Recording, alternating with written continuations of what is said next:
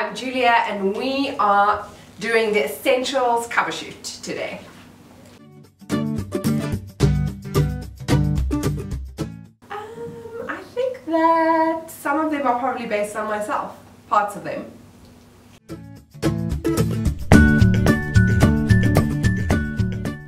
Uh, the best thing about being Suzelle is that I get to make things all the time. I love expressing my creativity through her.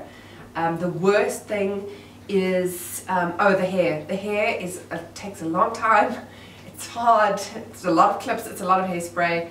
There's nothing better than getting that off at the end of the day. Oh yes, many, many people. I think they still do. Sorry guys.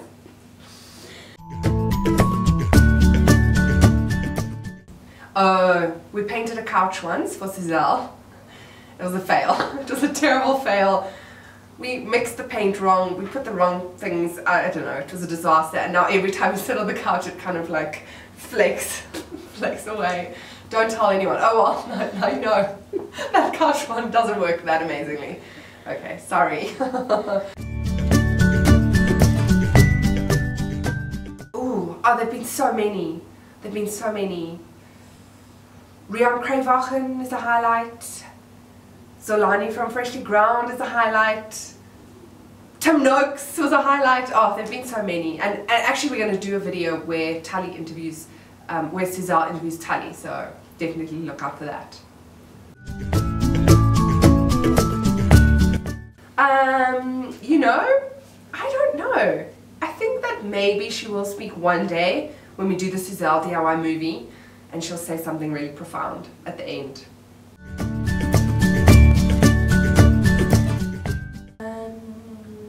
At the salon for cats and dogs, doing hairstyles on dogs and cats.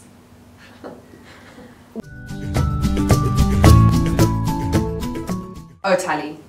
Ooh. Oh, Suzelle.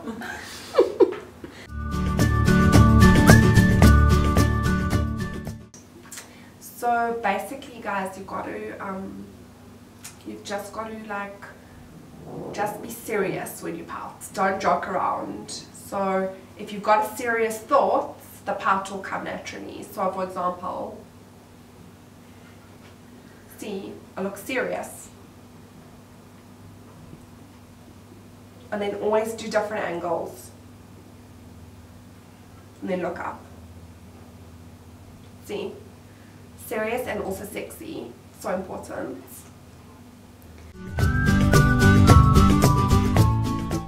Yeah. Make choices based on what makes you happy. Um, I think we get quite overwhelmed when you're planning a wedding and everyone has expectations and just do what you want to do. Yeah, be, be strong. Try to be as strong as you can. Um, ooh, something nobody knows about me. I've got like quite a weird sensory thing. So there's certain fabrics and textures that I just can't handle.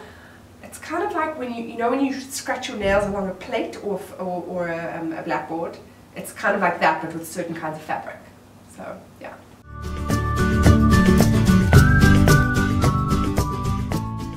Oh, that's such a hard question.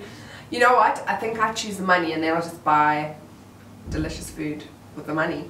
I suppose, but then, oh, it's a hard question. Okay, yeah, I choose, I, I, I pick the money. I pick the money.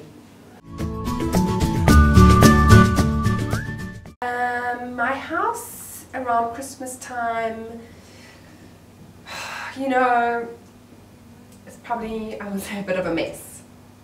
Lots of DIY Christmas activity happening at home.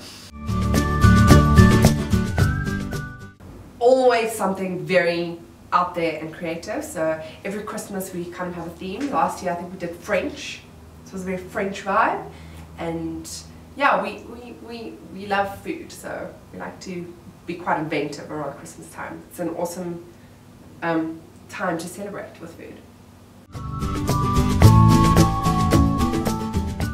Uh, we often do, we often pick a name out of a hat. So um, we'll just buy one really awesome gift rather than go crazy on gifts. I think it's such a great way to do it actually. So yeah, we'll pick a name, we'll get a person, we buy them, buy them an awesome gift, or make a gift.